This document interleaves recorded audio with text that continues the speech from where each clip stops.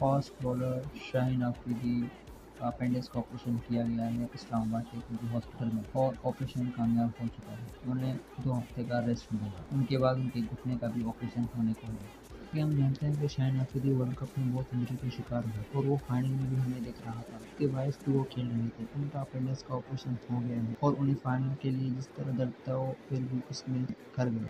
वो फिर भी फाइनल में कम कर गए और अब इनका अपेंडिक्स का ऑपरेशन हो गया है। अब उम्मीद है कि इंशाल्लाह अच्छे से अच्छे परफॉर्मेंस देंगे। और ये टीम के लिए खतरनाक साबित होंगे शाहिन आफरीदी का अपेंडिक्स का ऑपरेशन का ऑपरेशन हो गया है। लेकिन हमें ये नहीं बोलना चाहिए। उनके पाँव का भी ऑपरेशन होना है। उनके पाँव में भी तकलीफ़ है।